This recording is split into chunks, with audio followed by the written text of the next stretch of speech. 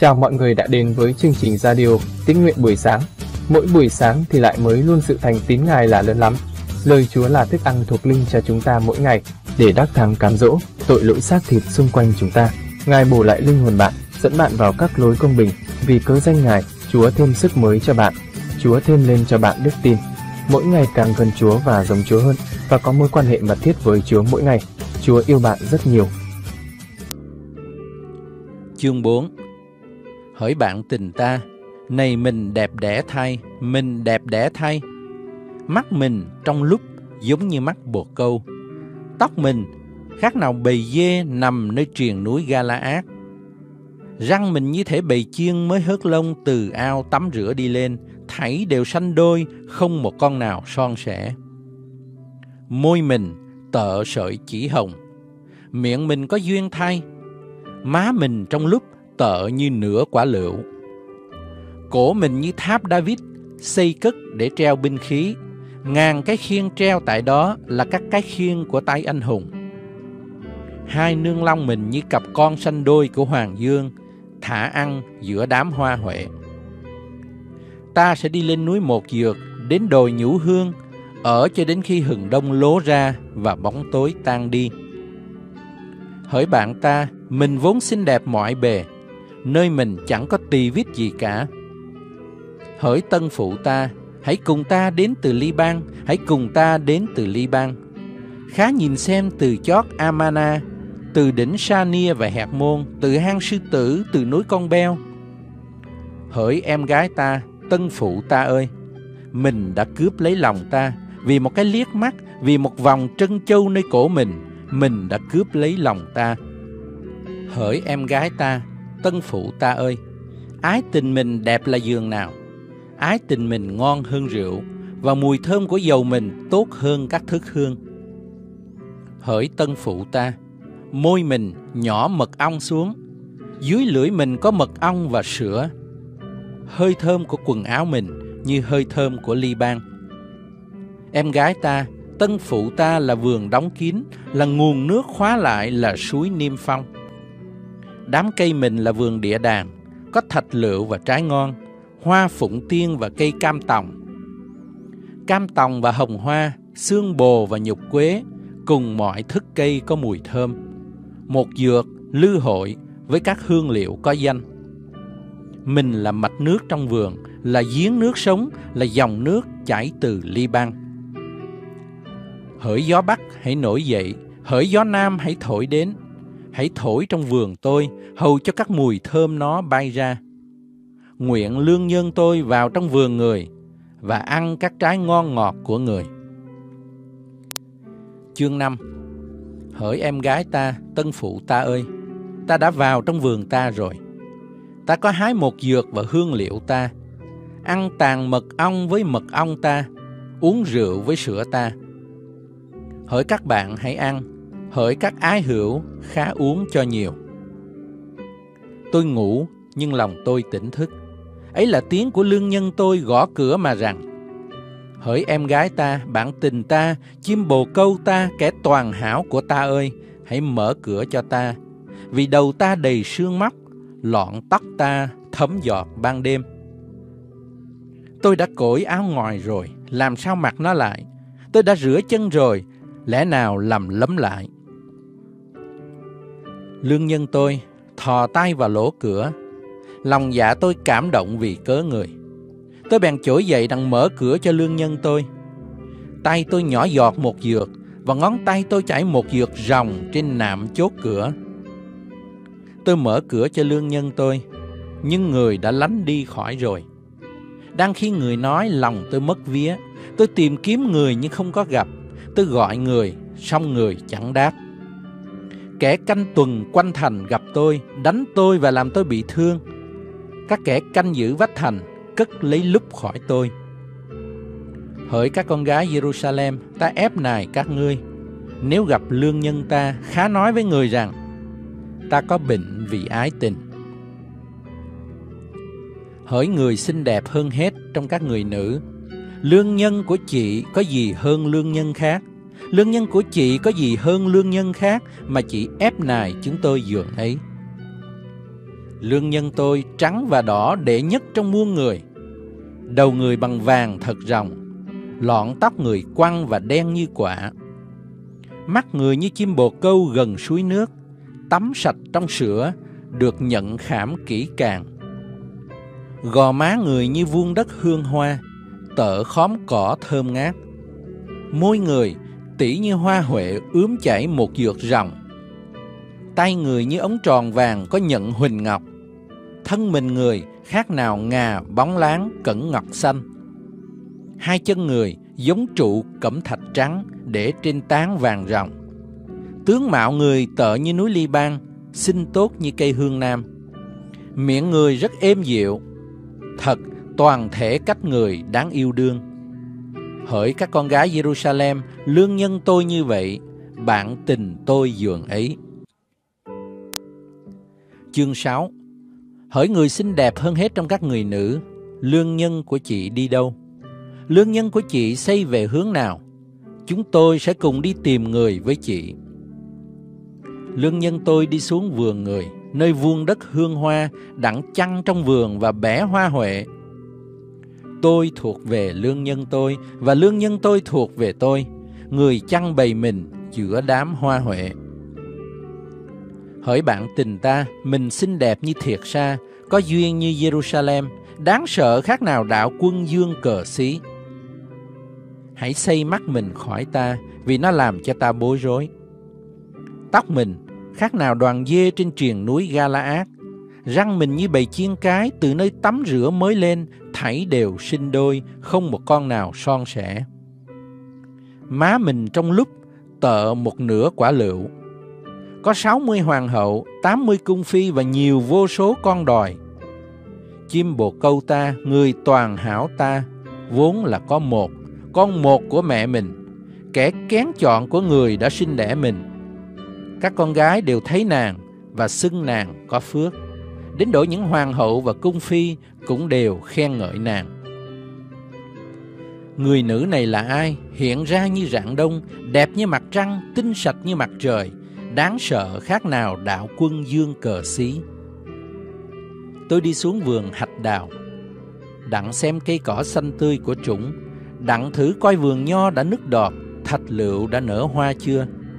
Không ngờ, lòng tôi dẫn dắt tôi trên các xe của dân sự tôi có tình nguyện. Hỡi Sulamit hãy trở về, hãy trở về, khát trở về, trở về, hầu cho chúng tôi xem thấy người. Vì sao các ngươi muốn thấy người Sulamit như thấy sự nhảy múa của Mahanaim? Thi Thiên 38 Đức Giê-hô-va ôi, xin chớ nổi thịnh nộ mà quở trách tôi, cũng đừng nóng giận mà sửa phạt tôi, vì các mũi tên Chúa gắm mình tôi và tay Chúa đè nặng trên tôi. Bởi cơn giận Chúa thì tôi chẳng nơi nào lành. Tại cớ tội lỗi tôi, xương cốt tôi chẳng được an nghỉ, vì sự gian ác tôi vượt qua đầu tôi, nó nặng quá cho tôi khác nào một gánh nặng. Tại cớ khờ dại tôi, các vết thương tôi thối tha và chảy lỡ. Tôi bị đau đớn và khòm cúp xuống, trọn ngày tôi đi buồn thảm, vì có lửa hừng thiêu đốt cật tôi và thịt tôi chẳng nơi nào lành. Tôi mệt nhọc và rêm nhiều quá, tôi la hét vì cớ lòng tôi bồn chồn. Chúa ơi, các sự ao ước tôi đều ở trước mặt Chúa, sự rên xiết tôi chẳng giấu Chúa. Lòng tôi hồi hộp, sức tôi mỏng đi, sự sáng mắt tôi cũng thiếu mất nữa. Các người thương tôi và những bạn tôi đều đứng xa và tôi, còn bà con tôi ở cách xa tôi. Những kẻ tìm giết mạng sống tôi gài bẫy tôi, kẻ tìm hại tôi nói điều dữ và trọn ngày toan sự phỉnh gạt.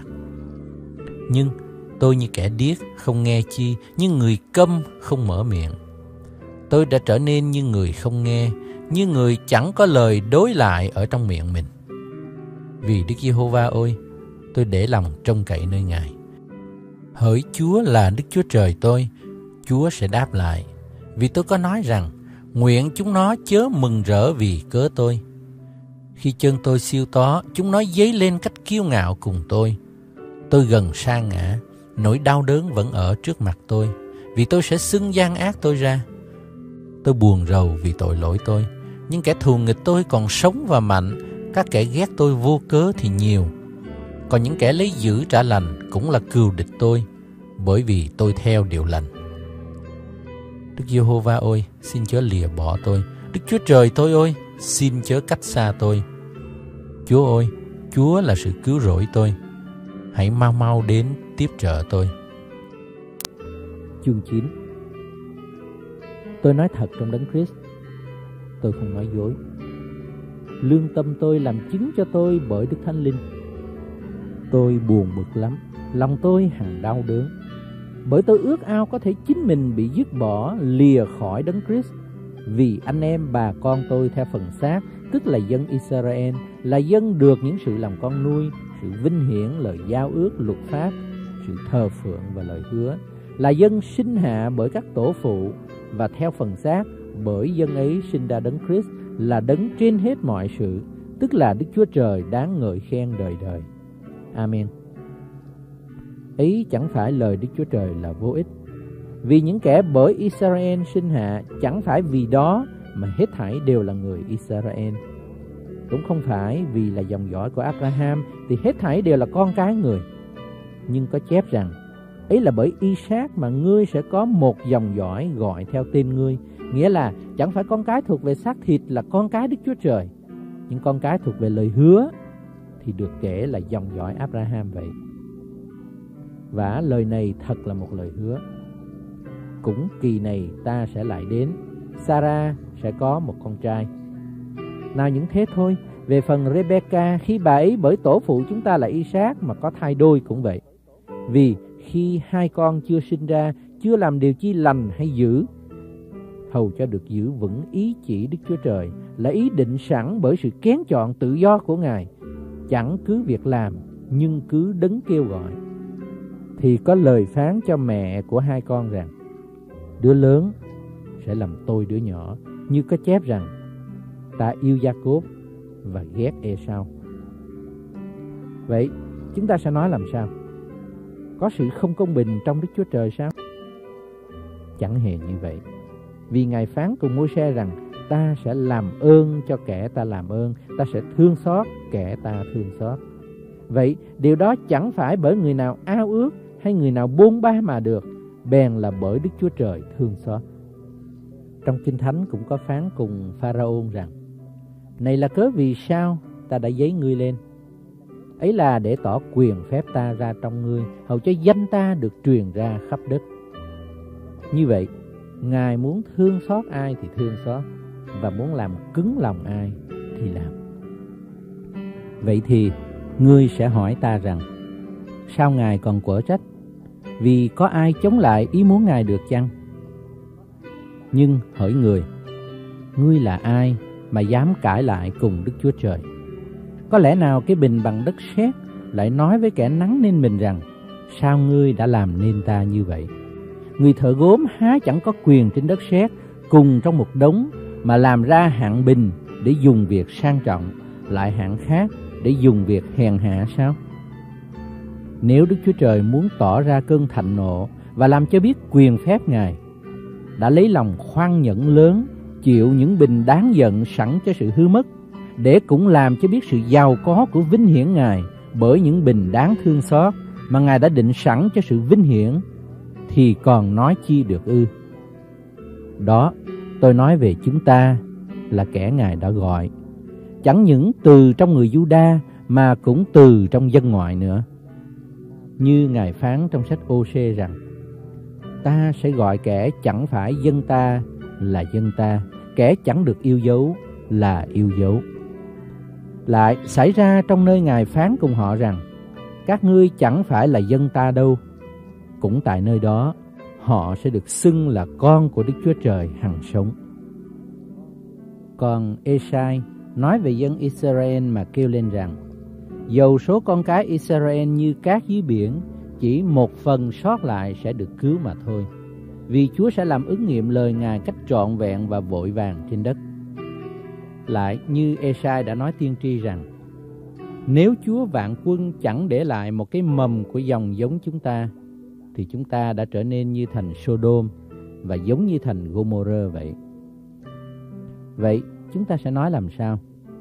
Những dân ngoại chẳng tìm sự công bình thì đã được sự công bình, nhưng là sự công bình đến bởi đức tin. Còn như dân Israel tìm luật pháp của sự công bình thì không đạt đến luật pháp ấy. Tại sao? Tại họ chẳng bởi đức tin mà tìm, nhưng bởi việc làm. Họ đã vấp phải hòn đá ngăn trở như có chép rằng Này, ta để tại Siôn một hòn đá ngăn trở, tức là hòn đá lớn làm cho vấp ngã. Hễ ai tin đến thì khỏi bị hổ thẹn. Chương 10 Hỏi anh em, sự ước ao trong lòng tôi và lời tôi vì dân Israel cầu nguyện cùng Đức Chúa Trời, ấy là cho họ được cứu. Vì tôi làm chứng cho họ rằng họ có lòng sốt sắng về Đức Chúa Trời, nhưng lòng sốt sắng đó là không phải theo trí khôn, bởi họ không nhận biết sự công bình của Đức Chúa Trời và tìm cách lập sự công bình riêng của mình, nên không chịu phục sự công bình của Đức Chúa Trời. Vì Đấng Christ là sự cuối cùng của luật pháp, đặng xưng mọi kẻ tin là công bình. Và Môi-se luận sự công bình đến bởi luật pháp cách này. Hễ ai làm theo điều đó thì nhờ đó mà sống. Nhưng sự công bình đến bởi đức tin thì nói như vậy. Chớ nói trong lòng ngươi rằng ai sẽ lên trời, ấy là để đem đấng Christ xuống. Hay là ai sẽ xuống vực sâu, ấy là để đem đấng Christ từ trong cái chết lại lên. Nhưng nói làm sao? Đạo ở gần ngươi, ở trong miệng và trong lòng ngươi. Ấy là đạo đức tin mà chúng ta giảng dạy. Vậy, nếu miệng ngươi xưng Đức Chúa Giêsu ra và lòng ngươi tin rằng Đức Chúa Trời đã khiến Ngài từ kẻ chết sống lại, thì ngươi sẽ được cứu. Vì tin bởi trong lòng mà được sự công bình, còn bởi miệng làm chứng mà được sự cứu rỗi. Và Kinh Thánh nói rằng, kẻ nào tin Ngài sẽ chẳng bị hổ thẹn. Trong người Juda và người Grec không có sự phân biệt gì hết, vì họ có chung một Chúa giàu ơn đối với mọi kẻ kêu xin Ngài. Vì ai kêu cầu danh Chúa thì sẽ được cứu. Nhưng họ chưa tin Ngài thì kêu cầu sao được? Chưa nghe nói về Ngài thì làm thế nào mà tin? Nếu chẳng ai rao giảng thì nghe làm sao? Lại, nếu chẳng ai được sai đi thì rao giảng thế nào? Như có chép rằng, những bàn chân kẻ rao truyền tin lành là tốt đẹp biết bao. Nhưng chẳng phải mọi người đều nghe theo tin lành đâu. Vì Esai có nói rằng, Lạy Chúa, ai tin lời chúng tôi rao giảng? Như vậy, đức tin đến bởi sự người ta nghe, mà người ta nghe là khi lời của Đấng Christ được rao giảng. Nhưng tôi hỏi, có phải là họ chưa nghe chăng? Trái lại, tiếng của các sứ giả đã vang khắp đất và lời của sứ giả đã đạt đến cùng thế gian. Tôi lại hỏi, thế mà dân Israel chẳng biết chi hết sao? Môi-se đã nói rằng, ta sẽ dục lòng ganh tị các ngươi bởi kẻ chẳng phải là dân, ta sẽ chọc giận các ngươi bởi một dân ngu dốt. Lại Esai nói cách bạo dạng rằng, những kẻ chẳng tìm kiếm ta thì đã gặp thấy ta, ta đã tỏ mình ra cho kẻ chẳng hỏi han ta. Sống về dân Israel thì rằng, ta đã dơ tay ra cả ngày, hướng về dân bội nghịch và hay nói trái. Chương 11 Vậy tôi nói, Đức Chúa Trời có bỏ dân Ngài chăng? Chẳng hề như vậy. Vì chính tôi là dân Israel, dòng dõi Abraham về chi phái Benjamin Đức Chúa Trời chẳng từng bỏ dân Ngài đã biết trước. Anh em há chẳng biết Kinh Thánh chép về chuyện Eli sao? Thế nào người kiện dân Israel trước mặt Đức Chúa Trời mà rằng Lạy Chúa, họ đã giết tiên tri Ngài, hủy phá bàn thờ Ngài. Tôi còn lại một mình và họ tìm giết tôi. Nhưng Đức Chúa Trời đáp lại thế nào? Ta đã để dành cho ta bảy ngàn người nam chẳng hề quỳ gối trước mặt ba anh. Ngày nay cũng vậy. Có một phần còn sót lại theo sự lựa chọn của ân điển. Nhưng nếu bởi ơn thì chẳng phải bởi việc làm nữa, bằng chẳng thì ơn không còn phải là ơn. Vậy thì làm sao? Ấy là dân Israel chẳng được điều mình tìm. Song những kẻ lựa chọn thì đã được, và những kẻ khác thì bị cứng lòng. Như có chép rằng, Đức Chúa Trời đã cho họ mờ tối, con mắt chẳng thấy, lỗ tai chẳng nghe, cho đến ngày nay. Lại David có nói, ước gì bàn tiệc của họ trở nên bẫy, lưới, nên dịp vấp chân và sự phạt công bình cho họ. Ước gì mắt họ mù không thấy được, và lưng họ cứ khom luôn. Tôi lại hỏi rằng, có phải dân Israel vấp chân giường ấy hầu cho té xuống chăng? Chẳng hề như vậy. Nhưng ấy là bởi tội lỗi họ mà sự cứu đã đến cho dân ngoại, hầu để dục lòng tranh đua của họ. Và nếu tội lỗi họ đã làm giàu cho thế gian, sự kém suốt họ đã làm giàu cho dân ngoại, thì huống chi là sự thịnh vượng của họ. Tôi nói cùng anh em là người ngoại. Bấy lâu, tôi làm sứ đồ cho dân ngoại. Tôi làm vinh hiển chức vụ mình, cố sức để dục lòng tranh đua của những kẻ đồng tộc tôi và để cứu mấy người trong đám họ. Vì nếu sự dứt bỏ họ ra đã làm sự hòa thuận cho thiên hạ, thì sự họ trở lại trong ân điển há chẳng phải là sự sống lại từ trong kẻ chết sao? Và nếu trái đầu mùa là thánh, thì cả đồng cũng thánh. Và nếu rễ là thánh, thì các nhánh cũng thánh. Ví bằng, có một hai nhánh bị cắt đi. Và ngươi vốn là cây olive hoang được tháp vào chỗ các nhánh ấy để có phần về nhựa và rễ của cây olive thì chớ khoe mình hơn các nhánh đó. Nhưng nếu ngươi khoe mình thì hãy biết rằng ấy chẳng phải là ngươi chịu đựng cái rễ, bèn là cái rễ chịu đựng ngươi. Ngươi sẽ nói rằng các nhánh đã bị cắt đi để ta được tháp vào chỗ nó. Phải lắm. Các nhánh đó đã bị cắt bởi cớ chẳng tin. Và ngươi nhờ đức tin mà còn. Chớ kiêu ngạo hãy sợ hãi. Vì nếu Đức Chúa Trời chẳng tiếc các nhánh nguyên, thì Ngài cũng chẳng tiếc ngươi nữa. Vậy, hãy xem sự nhân từ và sự nghiêm nhạc của Đức Chúa Trời. Sự nghiêm nhạc đối với họ là kẻ đã ngã xuống, còn sự nhân từ đối với ngươi, miễn là ngươi cầm giữ mình trong sự nhân từ Ngài. Bằng chẳng, ngươi cũng sẽ bị chặt.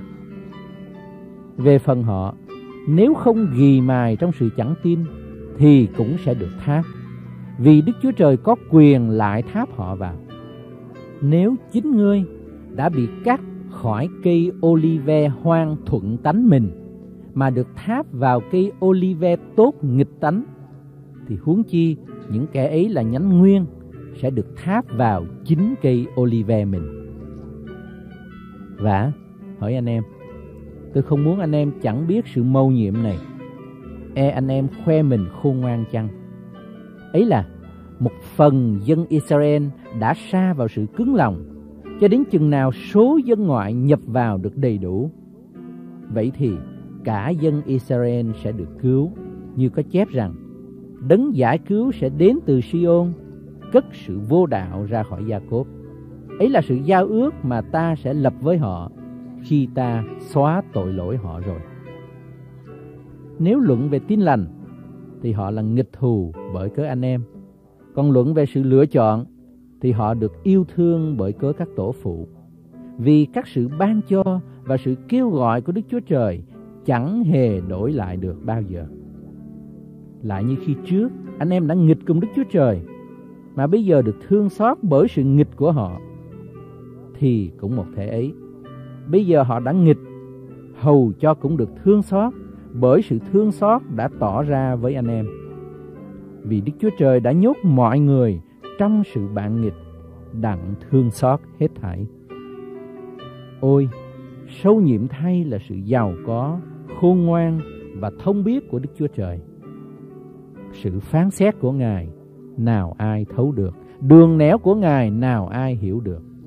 Vì Ai biết ý tưởng Chúa? Ai là kẻ bàn luận của Ngài? Hay là ai đã cho Chúa trước đặng nhận lấy điều gì Ngài báo lại? Vì muôn vật đều là từ Ngài, bởi Ngài và hướng về Ngài. Vinh hiển cho Ngài đời đời vô cùng. Amen. Cảm ơn Chúa lời của Ngài bày tỏ cho con. Thì giờ này chúng ta đến với Chúa trong sự cầu nguyện. Xin Thánh Linh Chúa, hãy bày tỏ cho con biết, Ngài dạy dỗ hay ấn chứng cho con điều gì qua lời của Ngài. Xin lời của Ngài được linh hồn con ăn nuốt vào trong tấm lòng và tâm trí của con mỗi ngày thêm lên lời của Ngài, để linh hồn con được tăng trưởng, thêm lên đức tin đặt để nơi Ngài. Xin Chúa cho con biết về Ngài nhiều hơn và con khát khao mối quan hệ mật thiết với Ngài nhiều hơn. Lạy Chúa con cảm ơn Ngài, mỗi ngày mới ngày ban cho con hơi thở để tiếp tục sống trên đất này. Con nguyện huyết báo của Chúa Giêsu Christ thanh tẩy, tẩy sạch, bôi xóa những suy nghĩ, tư tưởng, hành động trong tâm trí, trong tấm lòng của con như ấy là gian dâm, ô uế, lung tuồng, thờ hình tượng, phù phép, thù oán, tranh đấu, ghen ghét, buồn, giận, cãi lẫy, bất bình, bè đảng, ganh gổ, say xưa, mê ăn uống, cùng các sự khác giống như vậy. Con nguyện xin dòng huyết báo của Ngài tẩy sạch bôi xóa sự xác thịt của con không đẹp lòng Ngài ra khỏi con ngay giờ này. Bây giờ con được thánh sạch đứng trước mặt Ngài. Chúa ơi xin hãy cáo trách và thanh tẩy khi môi miệng con nói điều dơ giấy không đẹp lòng Ngài. Xin Chúa hãy thêm sức và hướng dẫn con ăn, hoặc uống, hay là làm sự chi khác, hãy vì sự vinh hiển Đức Chúa Trời mà làm. Xin Chúa thêm lên cho con đức tin để mỗi ngày con trong cậy nơi Chúa càng hơn. Xin Chúa thêm lên sự sức giàu trên con để con bày tỏ danh của Ngài trên chính đời sống hàng ngày của con, để con như muối của đất, ánh sáng của thế gian. Con nguyện Thánh Linh Đức Chúa Trời đổ đầy, đầy dẫy con Chúa ơi, những bông trái của Thánh Linh, ấy là lòng yêu thương, sự vui mừng, bình an nhịn nhục, nhân từ, hiền lành, trung tín, mềm mại, tiết độ đầy dẫy trên con. Con xin Chúa thêm sức mới, thêm đức tin cho con. Xin Chúa dẫn dắt con để con đắc thắng một ngày mới trong ngày. Con cảm ơn Chúa, con dâng mọi vinh hiển tôn quý lên ba ngôi Đức Chúa Trời toàn năng, và phước hạnh con nhận lãnh từ nơi Ngài. Và con thành kính dâng lên cha lời cầu nguyện trong danh Chúa Giêsu Christ. Amen. Cảm ơn bạn đã lắng nghe. Xin Thánh Linh Chúa cho sứ điệp này để khích lệ thêm động lực bạn bước đi với Chúa mỗi ngày. Mọi đóng góp ý kiến hay góp phần dâng hiến cho chương trình xin gửi về gmail dưỡng linh cơ đốc 2020a gmail.com. Bạn ủng hộ chương trình bằng cách chia sẻ chương trình rộng rãi trên mạng Internet, cộng đồng, xã hội. Hẹn bạn dưỡng linh hàng ngày tiếp theo. Chúa yêu bạn rất nhiều.